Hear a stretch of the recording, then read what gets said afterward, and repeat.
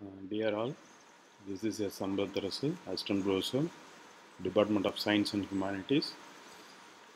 Today we are going to see about solid solution Hume-Rothery's rule, which is in material science, especially for mechanical engineering students, Anna University 2017 regulation. Solid solution. What is meant by solid solution?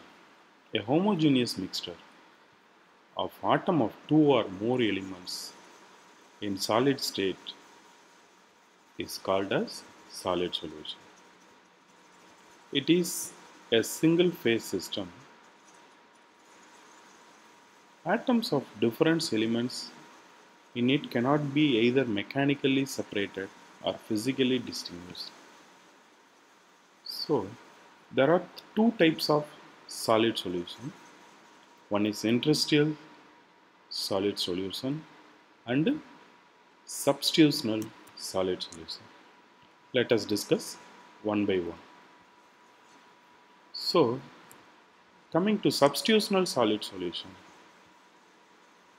as we told in game or any other, just a substitute for an atom, which is said to be substitutional solid solution. That is, if the atom of the solvent or parent metal are replaced in the crystal lattice by atoms of solute metal, then that solid solution is said to be substitutional solid solution.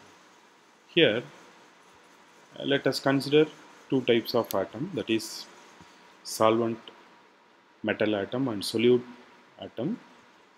Here, this green color atoms are solvent atom and blue color are solute atom. Here, in this crystal structure, the solvent material that is the green color atom in first row, second row, third row, fourth row are replaced by the solute atom.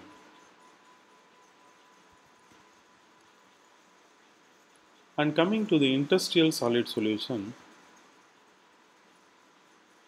the solute atom does not replace a solvent atom, but rather it enters one of the poles or interstices between the solvent atom. Here in this diagram, we can clearly note in the crystal structure, the atomic arrangements are very proper.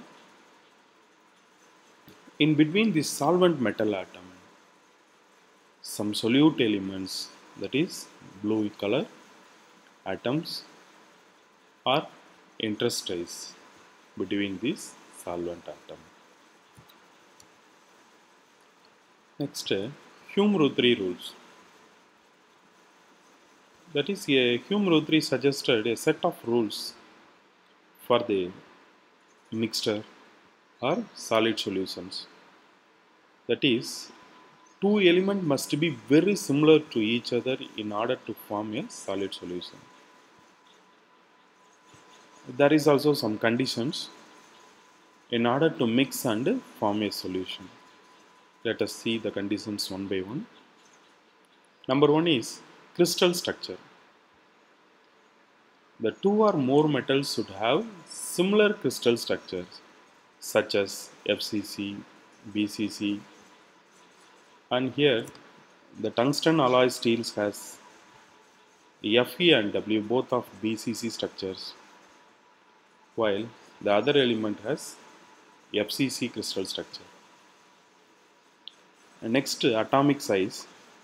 These atoms of different sizes may not collide with each other. So their size should be within 15% of each other.